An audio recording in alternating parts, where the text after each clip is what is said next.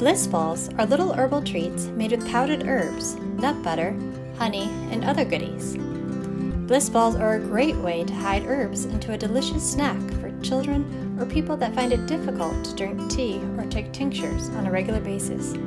These herbal bliss balls are hard to resist.